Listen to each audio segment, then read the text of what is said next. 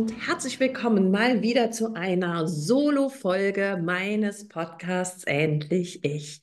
Ich bin Katja Deming, psychologische Beraterin, Mentorin für innere Stärke und Autorin des Buches Raus aus der narzisstischen Beziehung. Ich habe es mir zur Aufgabe gebracht, Menschen aus ihren toxischen Beziehungen herauszuholen und sie zurückzubringen in ihre innere Stärke. So viele von euch haben sich gewünscht, dass ich mal wieder eine Solo-Folge mache.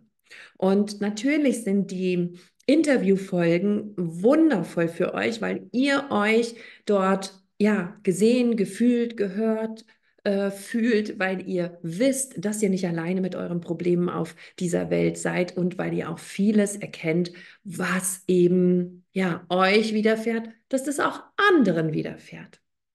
In dieser Solo-Folge möchte ich deshalb nochmal darauf eingehen und dich motivieren, wenn du ebenfalls in einer toxischen Beziehung steckst, genauer hinzuschauen. Was hält dich da? Warum bist du da? Warum bleibst du da? Und welche Tools und Möglichkeiten gibt es, um dein Leben wieder freudvoller zu gestalten? Denn mal ganz ehrlich, du hättest doch auch gerne ein liebevolleres, leichteres Leben, wärst gerne voller, ja, Lebensfreude, so dass du strotzen würdest von Selbstbewusstsein. Aber das ist schon lange her, oder? Wie du weißt, war ich selbst in diesen toxischen Beziehungen und ich weiß absolut, wie schwer es ist, da loszulassen. Und ich glaube, durch meine zehnjährige Coaching-Erfahrung und meine, ich muss mal gerade rechnen, ich glaube 15 Jahre war ich insgesamt in toxischen Beziehungen, kenne ich auch mittlerweile alle Einwände, ich nenne sie immer ganz gerne inneren Saboteure, die dich zurückhalten könnten zu gehen. Wollen wir die uns heute einfach mal anschauen? Weil ich möchte dir zunächst eine Frage stellen. Wie würdest du dich fühlen, wenn du heute in drei Jahren immer noch in dieser Beziehung wärst? Schau dich mal an. Also vielleicht reicht sogar heute in einem Jahr, je nachdem, wo du gerade stehst.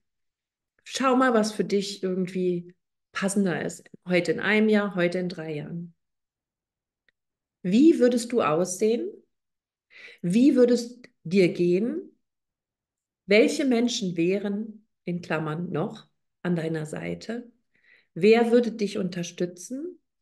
Wer hilft dir? Wo und wie könntest du arbeiten? Wie gesund wärst du? Vielleicht hast du Familie und Kinder. Wie würde es deinen Kindern gehen? Welche Beziehung hätten deine Kinder zum narzisstischen Elternteil beziehungsweise zu dir? Versuch dir mal einen Moment in Bild und Farbe vorzustellen, was für eine Person bist du in einem Jahr, wenn du heute nichts veränderst. Du kannst an dieser Stelle auch gerne auf Stopp drücken, mal die Augen schließen und dich da reinfühlen. Wie viele Tage gehen dir schmerzvoll verloren, wenn du nicht in die Veränderung kommst? Ich weiß, es ist hart und ich höre dich auch zu sagen, ja, und ich will auch, Katja. Ich will daraus. Und gleichzeitig sind die Ängste da ich schaffe das sowieso nicht. Ich weiß nicht warum, aber er oder sie ist die Liebe meines Lebens. Das kann ich den Kindern nicht antun, dass ich die Familie zerrütte. Ich bin einfach nicht stark genug. Er ist der letzte Strohhalm, den möchte ich nicht auch noch verlieren. Ich bin schon komplett allein. Oder womöglich, ich bin sehr, sehr krank geworden und wenn er jetzt auch noch geht, wie soll ich das Ganze alleine tragen? Und diese ganzen Einwände sind berechtigt und sie sind unfassbar schmerzvoll. Und gleichzeitig zeigen sie dir aber auch, dass dir das Wasser bis zum Hals steht.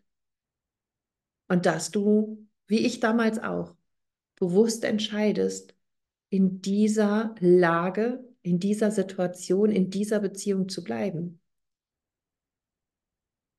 Dass du dich bewusst entscheidest, irgendwie da durchzukommen, auszuhalten für die Kinder. Ja, vielleicht wirklich so viel Angst zu haben, alleine es nicht gewuppt zu kriegen. Am schlimmsten ist die Sucht. Die Sucht nach dem Drama, die Sucht nach der Liebe, nach dem Wechsel von heiß und kalt. Und auch hier siehst du dich wahrscheinlich nicht in der Lage, dich von dieser Sucht zu befreien. Und es tut mir immer so unfassbar leid, wenn die Menschen, die Frauen, die Männer zu mir kommen, raus wollen und es nicht schaffen. Insbesondere die, die eine Affäre mit einem Narzissten haben.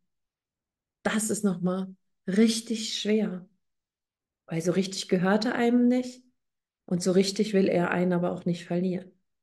Oder sie. Was ist die wichtigste Frage, die du dir hier jetzt stellen darfst? Fangen wir von hinten an, wobei ich nicht weiß, ob ich die einzelnen Punkte, wie ich sie eben genannt habe, noch so in der Reihenfolge auf die Reihe kriege. Ist auch egal, darauf kommt es nicht an. Vielleicht bist du mittlerweile so krank geworden, körperlich müde, Ängste, Panikattacken, Schlafstörungen, schlechte Verdauung, Durchfälle, habe ich total oft bei meinen Klienten, die in toxischen Beziehungen aushalten, dass du Angst hast, den Weg alleine gehen zu müssen. Und das kann ich absolut nachvollziehen. Aber wo stehst du mit deiner Gesundheit, wenn du in dieser Beziehung bleibst im nächsten Jahr? Glaubst du, du wirst gesünder? Glaubst du, du heilst? Glaubst du, du musst nur stark genug werden, um dann wieder in deine Kraft zu kommen? Es gibt ein schönes Sprichwort. Das heißt, in einem kranken Umfeld oder in einem Umfeld, das dich krank gemacht hat, kannst du nicht gesunden. Und so ist es. Wenn wir ehrlich sind, wirst du immer kränker oder kranker. Und du hast danach noch größere Probleme. Und ich weiß, dass das unfassbar schwer ist und ich weiß, dass es kaum Möglichkeiten gibt, dann da rauszukommen, wenn kein soziales Umfeld mehr da ist, wenn die Familie weggebrochen ist. Und dennoch, es ist dein einziger Rettungsanker. Das bedeutet, hol dir externe Hilfe. Versuch dir wieder ein soziales Netz aufzubauen. Geh zurück zu deiner Familie, egal was der Narzisst davon hält oder nicht. Du kannst es auch heimlich machen.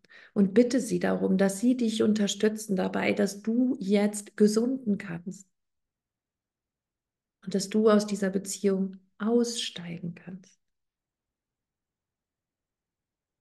Gerade auch, wenn du alleine bist, ist es unfassbar schwer, aus dieser Isolation heraus, wofür der Narzisst natürlich gesorgt hat, um dich abhängig von sich zu machen, aus dieser Isolation heraus zu sagen, und den Strohhalm lasse ich jetzt auch noch los. Da zieht sich alles im Bauch zusammen. Da fängt man an zu zittern. Da redet man sich ein, mein Gott, ich liebe ihn doch so sehr, obwohl das ganze letzte Jahr vielleicht oder vielleicht die letzten Jahre, wenn du ehrlich bist, eine Qual ist und du nicht mehr weißt, wann du mal wieder aus vollem Herzen gelacht hast, wann du Spaß hattest, wann du dich tief geliebt gefühlt hast, länger als für nur einen Augenblick oder einen Tag. So oft bist du abgelehnt worden, abgewertet worden, beleidigt worden, missbraucht worden, vielleicht sogar misshandelt worden. Und dennoch bleibst du, weil du Angst hast, es nicht zu schaffen.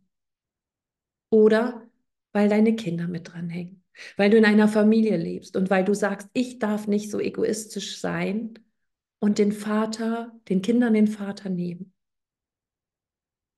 Schau deine Kinder an. Wie geht es ihnen in eurer Familie, in eurem System mit einem toxischen Elternteil? Geht es ihnen gut? Oder leiden sie tatsächlich genauso unter den Höhen und Tiefen, unter Liebe und Hochjubeln, unter dem Missbrauch und der Abwertung, wie du auch? Zu mir hat damals meine Therapeutin gesagt, jeder Tag, den die Kinder nicht mit ihrem Vater verbringen, ist ein guter Tag. Das ist harter Tobak. Und ich konnte es damals für mich überhaupt nicht annehmen. Heute, wo meine Kinder groß sind und sie sich selbst und freiwillig entschieden haben, den Kontakt zu ihrem Vater abzubrechen, heute verstehe ich es. Weil so viele kleine Verletzungen dort stattgefunden haben, die ich als von außen als Mama überhaupt nicht gesehen habe. Und natürlich, wenn dieser Mensch toxisch narzisstisch dich behandelt, dann behandelt er auch seine Kinder so. Und eine gute Mutter zu sein oder ein guter Vater zu sein und ähm, bedeutet nicht, das Familiensystem aufrechtzuerhalten, um dann zu sagen, wir sind glücklich. Weil dieses Familiensystem stinkt zum Himmel. Das ist nicht richtig und das tut den Kindern auch nicht gut. Und auch als Mutter oder als Vater bist du in der Verantwortung, deinen Kindern eine gute Kindheit mitzugeben. Eine gute Kindheit bedeutet, für sie zu sorgen, sie zu lieben, aber auch sie zu beschützen. Und dass diese Verletzungen und dieses gesehen werden wollen von einem Vater der oder Mutter, die gerade ja, sich die Zeit nicht nimmt, mit ihrem Ego beschäftigt ist, besonders herausragen möchte über die Leistungen der Kinder, diese Prägung von Liebe nehmen die Kinder mit in ihre nächste Beziehung. Das heißt, sie suchen sich dann auch Partner aus, die sie abwerten, die sie nicht sehen, denen sie nicht wichtig sind oder die nur eine oder einer von vielen sind. Das willst du doch nicht. Du möchtest doch nicht, dass sich dein Leben im Leben der Kinder wiederholt, oder? An dieser Stelle möchte ich dir anbieten, dass ich noch ein 1 zu 1 Mentoring frei habe in diesem Jahr, sodass du, wenn du bereit bist, die nächsten sechs Monate mit mir gemeinsam gehen kannst. Wenn du dieses gerade hörst und sagst, ich will, Katja, ich will das schaffen, dann sehen wir uns jede Woche zu einem Coaching in den nächsten sechs Monaten. Und ich bin im Notfall an deiner Seite und sage dir, was du tun darfst und was du besser lässt und wie du dich schützt und wie du deine Kinder schützt, falls du welche hast oder nicht. Dieses Mentoring gehört ja oder ist für jede oder jeden da, der sagt, mir reicht's jetzt. Ich kann einfach nicht mehr. Ich sehne mich nach Liebe, ich sehne mich nach Leichtigkeit, ich sehne mich nach Lebensfreude und vor allem sehne ich mich danach, meine Identität wiederzufinden. Wo ist meine Fröhlichkeit hin? Hat die Christina uns erzählt in ihrem Podcast vor einigen Wochen. Wo ist meine Identität hin? fragt André, der sich komplett aufgegeben hat. Und du kennst diese Symptome. Du weißt, dass du dir deine Welt ganz dolle schönreden musst, um es in ihr auszuhalten. Vielleicht denkst du gerade, auszusteigen ist was für die anderen, das schaffe ich nicht. Ich bin nicht so stark und ich bin süchtig, ich weiß nicht, wie ich da rauskommen soll und ich liebe ihn doch so sehr. Setz dich hin und schreib auf, warum liebst du ihn? Und dann überprüfe das, was du an ihm liebst, darauf, wie oft bekommst du das? Wie oft schenkt er dir tatsächlich diese Liebe. Das Schwierige daran, hier loszulassen, ist ja, dass, das, dass der Narzisst nicht immer nur böse ist, sondern dass er eben auch total lieb sein kann.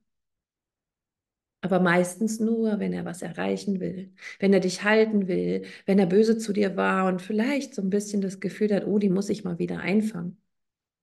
Vergiss nicht, dass bei Narzissten es immer nur um sein Wohl geht. Dein Wohl ist ihm auf Deutsch gesagt, schied egal. Das ist gar nicht nur Deutsch. Scheißegal, habe ich mich kurz nicht getraut zu sagen. Es ist ihm super egal, wie es dir geht. Er macht sein Ding. Er profitiert davon. Und wenn du vielleicht in einer Affäre steckst, dann und seine Frau irgendwas gemerkt hat, dann zieht er sich komplett zurück auf einmal. Oder er hat womöglich noch eine andere Affäre angefangen und zieht sich bei dir zurück. Du verstehst die Welt nicht mehr. Du gehst in den, in den Entzug, du gehst in die ganzen Suchtsymptome rein, in die Entzugssymptome rein, du hinterfragst deinen Wert, du wirst wahnsinnig. Und irgendwann, wenn seine Frau für ihn vielleicht nicht mehr so kontrolliert oder er da die Wogen geglättet hat, steht er wieder vor der Tür mit einem lahmfrommen Gesicht. Und du, du bist einfach nur froh, dass er wieder da ist. Und in einem Jahr wird es genauso sein, wenn du heute nichts änderst. In einem Jahr wirst du genauso leiden. Und vielleicht bist du in einem Alter, wo du dir ehrlicherweise eine Liebe fürs Leben wünschst, wo du dir vielleicht noch Kinder wünschst. Und egal, ob der Narzisst jetzt, also ob du in einer Affäre ist und er verheiratet ist, ob du krank bist und er irgendwann sagt, mein Gott, du bist so krank, du bringst mir nichts mehr und er dich dann abschießt, die wenigsten Beziehungen halten mit Narzissten. Das heißt, früher oder später bist du sowieso damit durch. Früher oder später wird er dich fallen lassen, wird er dich ersetzen, wird er, wirst du ihm nicht mehr dienlich sein, wird sein Ego einfach einen neuen Reiz und ein neues Abenteuer wollen. Und dann bist du am Boden. Und dann hast du vielleicht tatsächlich deine Lebenswünsche nicht mehr in der Hand, sie dir selbst zu erfüllen. Wenn du heute nicht sagen kannst, ich würde mich freuen, wenn ich in einem Jahr mit dieser Beziehung am gleichen Punkt stehe wie heute, dann ist das diese Podcast-Folge für dich, dein Zeichen zu gehen und daran zu arbeiten, ihn wirklich loszulassen. Und es ist Arbeit. Es ist nicht so, dass du von jetzt auf gleich da rauskommst. Und deshalb ist es so wichtig, Hilfe und Unterstützung zu haben. Und ich bin für dich da. Ich begleite dich in einem 1 zu 1 Mentoring für sechs Monate, damit du safe bist. Und du kriegst alles, was ich weiß und was du brauchst, mit an die Hand. Und nach den Sommerferien wenn du vielleicht aus dem Urlaub wiederkommst und erkannt hast, das war der letzte Urlaub mit ihm, ich halte es nicht mehr aus, dann werden wir noch unser Zurück zum Glück Programm wieder starten. Das ist ein Gruppenprogramm, was über drei Monate geht, wo wir mit mehreren Gleichgesinnten aussteigen, uns unterstützen. Wir hatten das schon im letzten Jahr. Das war sehr, sehr schön. Und im September ist es wieder soweit, sodass du dann da auch einsteigen kannst. Verschenke deine Zeit nicht. Du kannst auch sofort loslegen und mich kontaktieren. Schreibe mir einfach eine E-Mail an info@katjademming.com und dann schauen wir, wie wir das Mentoring, mm, ja, dass wir uns kennenlernen erstmal. Und dann schauen wir, wie ich dich da am besten durchbringen kann. Ich möchte dir heute wirklich Mut machen. Ich möchte dir heute zeigen, auch als Vorbild vielleicht, dass ich es auch geschafft habe. Ich möchte dir nicht sagen, dass es leicht ist, weil das wäre gelogen. Es kostet Kraft und es kostet viele Stunden von Diskussionen und Streit, insbesondere wenn Kinder noch in der Nähe sind oder dazugehörig sind. Aber es war ein Weg, der sich sehr, sehr, sehr gelohnt hat weil ich heute in Liebe angekommen bin bei meinem Partner, der mich so nimmt, wie ich bin.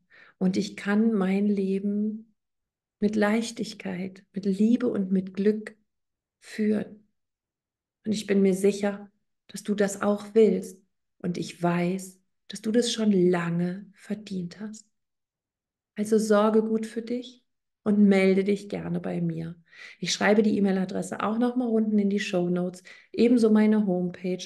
Und wenn du Hilfe und Beratung brauchst, schreib mir einfach. Ich bin für dich da.